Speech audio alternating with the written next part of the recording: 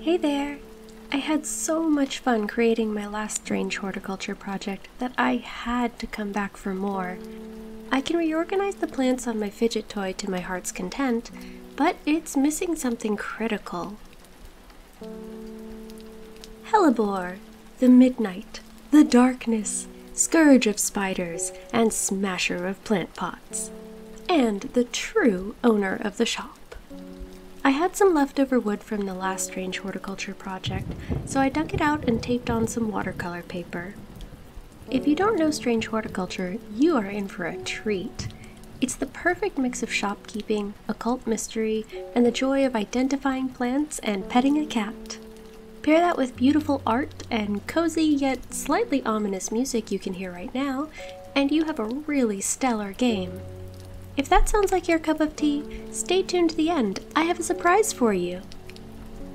Even if this is technically going to be a standalone piece, I wanted to make sure it matched the colors of the plant shelves. I had vague memories of the painting being a challenge and couldn't remember which colors I had mixed up, so I rewatched that footage. And wouldn't you know it, I don't tell myself anything no footage of which colors or how much of each, so once again, we're winging it.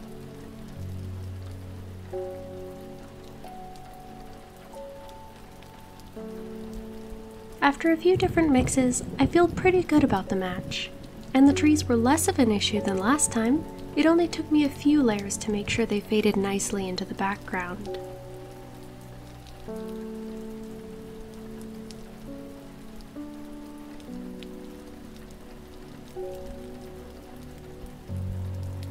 I am very proud to report that I have learned lessons and done a smart. Instead of using tape to make guides for the window frames, removing the tape, and having a minor meltdown because it ripped the paper, I just lightly penciled the lines and freehanded it.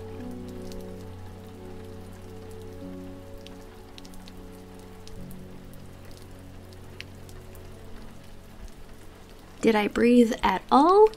No. Did I ruin the paper? Also no, so that's a win. I can't overstate how much I love this game, and one of the best things about doing the last project was finding out how many of you loved it too. Talking with you about all the endings we found, which ones we're trying to get, how we organize and color code our plants has been so much fun. I could gush about this game with you all forever, Please take that as an invitation. Really, gush with me in the comments. As I was putting the finishing touches on this project, Bad Viking, the developers of this game, announced a return to Undermere in an upcoming game called Strange Antiquities. Be still my heart. If there's anything I love as much as a plant shop, it's a collection of strange and wondrous items.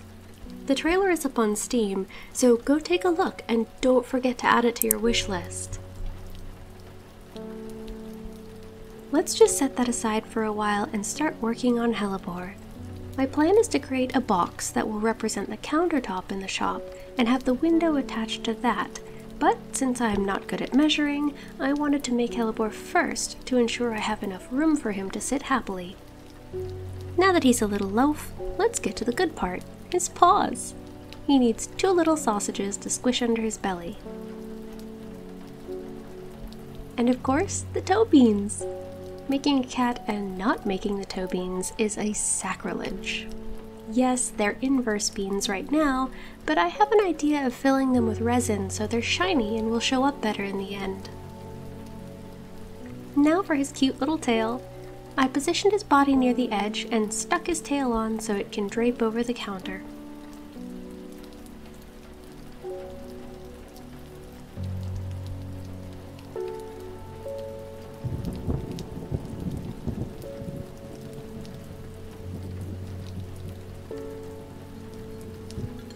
I popped his body in the toaster oven and made myself a quick cup of tea while waiting for the ding. If you've seen my other projects, you might notice that I don't make animals very often. The closest things I've done are Pokemon. This is because I don't know how to make animals. Or people. I knew I'd need a few tries to get his face right, so baking the body was kind of like a save point before the part I know I'll mess up. The first time, he came out looking like a little fox instead of a sleepy kitty. I could have named him Foxglove to keep with the plant theme, but he certainly wasn't Hellebore.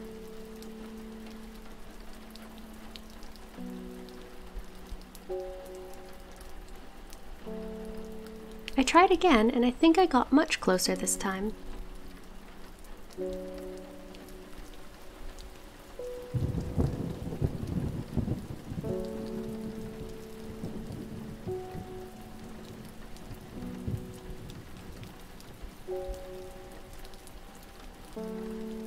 And now it's time to channel my inner rolling stones and paint it black.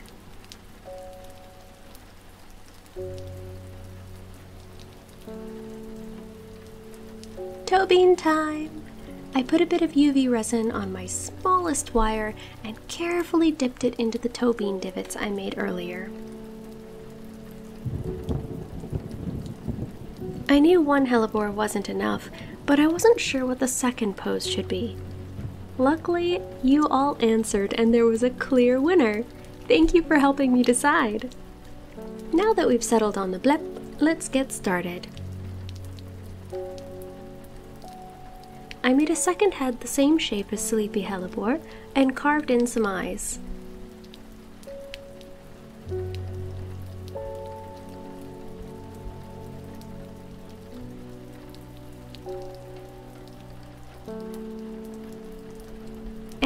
For the tiny tongue.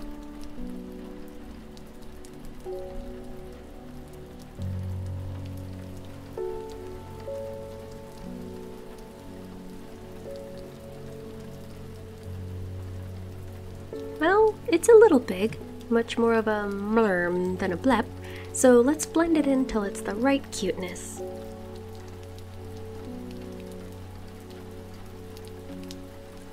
And of course, he needs something to groom. It took me a while to find the right balance of noodly and strong, and also the right length. I baked him so his arm wouldn't fall down, and added a little ball of clay for his paw. This silicone tool was perfect for getting in between his toes. I always love when cats or dogs spread their toes. It's so funny to me for some reason. And ball tools for the toe beans. We must have matching paws.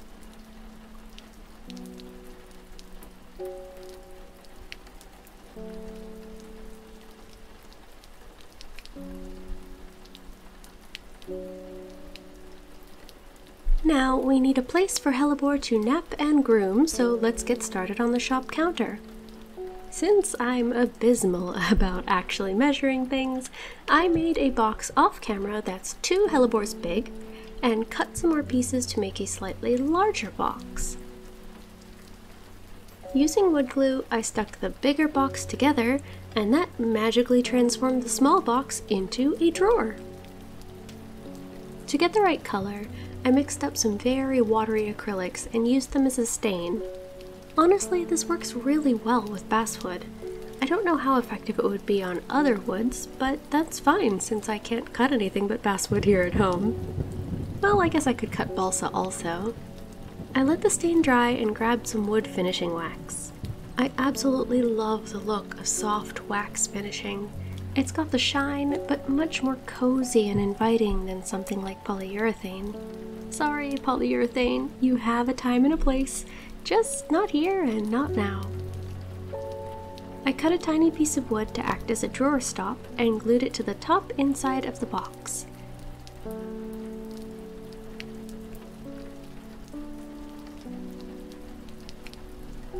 Now the drawer opens in a very professional way and doesn't just flop out. Now, the drawer is slightly more than two hellebores big, so I pulled out my favorite silk clay and made a little pillow for them to nestle in.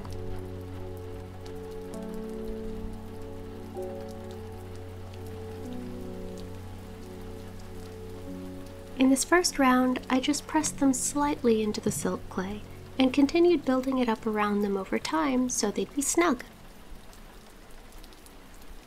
What kind of shop counter would this be without a bell?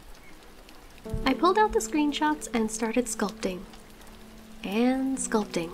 I added clay, took away clay, made it higher, squished it down. Was I overthinking this? Yes. Yes, I was. I set it down, came back an hour later, rolled out a ball, squished it, carved a line, added a top, and it was done. I based it in black and dry brushed it with gold and bronze to give it a well-worn look. In the design, there are lovely ornate patterns on it if you look very closely, but sadly I realized it too late. It just goes to show you how much care and attention the developers put into every aspect of this game.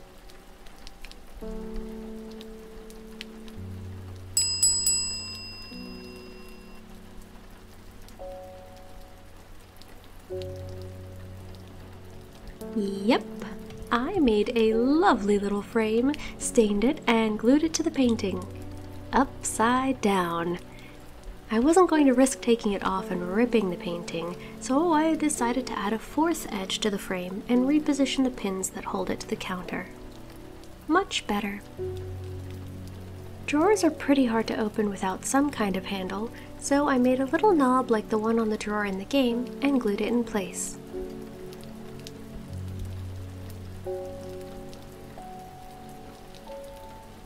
I pulled out my Apoxie Sculpt and mixed up the batch for the hanging plants.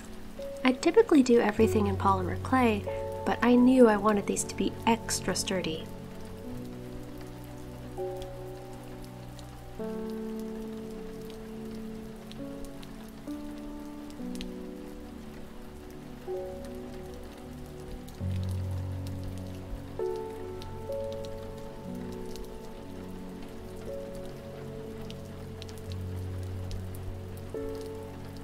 My acrylics aren't super opaque, so I had to base it in white so the colors wouldn't be devoured by the void.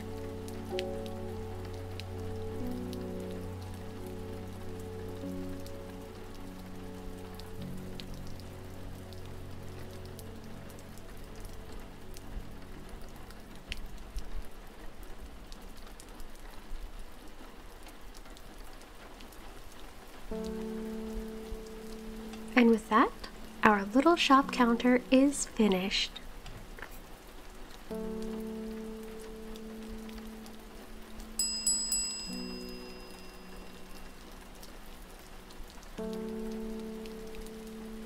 I had shared the original project on Steam, and my heart burst with joy when the developers saw my art in the community hub and said they loved it. I really wanted to do their game justice, and their response was incredibly motivating, warming, validating. I don't know the right word to describe it. I immediately decided that I wanted to send them the Hellebore project, even before I knew when I would do it. As the Hellebores head to their new home across the pond, it's time for me to share the big surprise I promised. The two brilliant minds behind this game incredibly generously sent me three Steam codes for Strange Horticulture to share with you all. I'm selfishly extremely excited to have three new friends to talk with about the game. If you'd like to play this game, please leave a comment saying, I want to pet Hellebore! I'll be randomly picking three people on July 7th. If you have already played this game and want to expand the fandom, please consider sharing this with your friends, and if they like the sound of the game, they can enter the drawing too. Again, thank you so much to the Bad Viking brothers for sharing these codes. Your work is fantastic, and we can't wait to return to Undermere. In the meantime, check out their website. They have an archive of all their games you can play while waiting for strange antiquities.